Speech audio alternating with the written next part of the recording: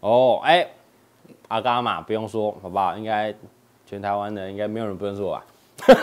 这么嚣张，这么嚣张，不认识我，赶快去看我的影片。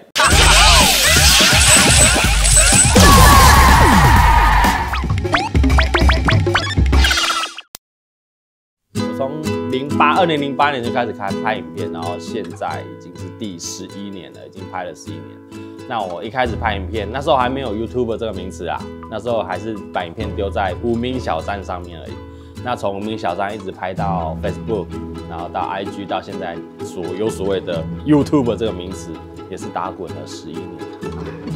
一一开始会拍影片，其实不是我拍，是我那时候跟室友常进人，大家应该也有有老观众知道熟悉有个常进的角色，那时候他就把我的生活的过程拍下来，那时候是。啊，二零零八年中华队八强三输了加拿大，就是一场啊，我就是烧入池，还不是真的入池哦，拿了一个 T 恤，然后写入池，然后放火把它烧掉，哎，那 那个画面拍下来，然后就放到无名在上面。但那时候纯粹是好玩，就是跟呃旁呃毕业的同学们分享这个画面而已，所以那时候还没有想要把这个工这个东西当成是未来的工作。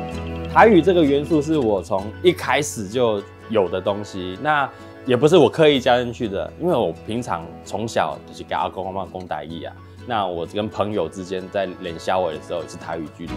所以大家看久就会习惯哦，阿嘎就要讲台语，然后很很很亲切的那种感觉，所以我就一直保持这个元素在我的影片里面。那大头佛为什么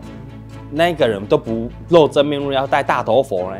因为他长得实在是不好看，所以不如戴面具。不是啦，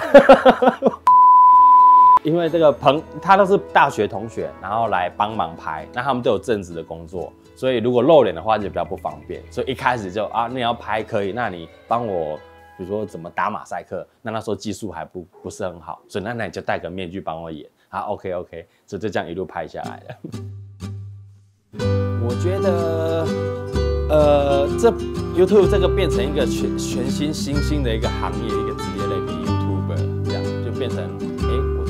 工作会被会被认同，就哎，大家都说，哎，网络红人啊，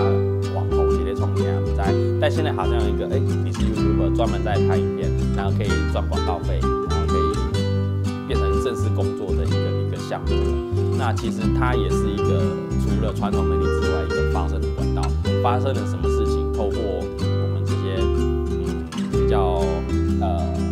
度的 YouTuber，可以帮你做一个发声，为社会讲一些事情，那他不会受到任何的组织或者是什么力量去控制，对，他就是一个很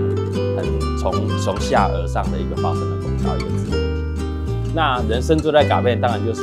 我尝试了很多意想不到的事情，就是你。可能如果是一般上班族，以前如果是没有当这份工作的话，回去当社工，你可能就不会跟一些啊偶像明星有机会见面拍片，或者是有机会出书拍广告，或者是呃跟总统见面进总统府，然后要去大联盟开球，就是一很很意想不到的事情都可以因为这一个平台就完成，所以我觉得非常的神奇。很很多称号嘛，那时候什么常青树。骨灰级的，对，呃，我觉得能够一路一路这样拍下来，我就是把这份这样的事情变成是自己的工作啦。就是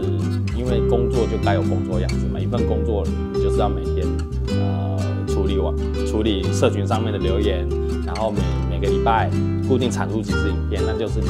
该有工作的样子。那我只是在做应该做的事情而已啊，所以就是才能这样一路拍十十几年下来。对，那下一个十年哦，我其实我觉得梦想是可以好好的再拍个不是十年，四五十年，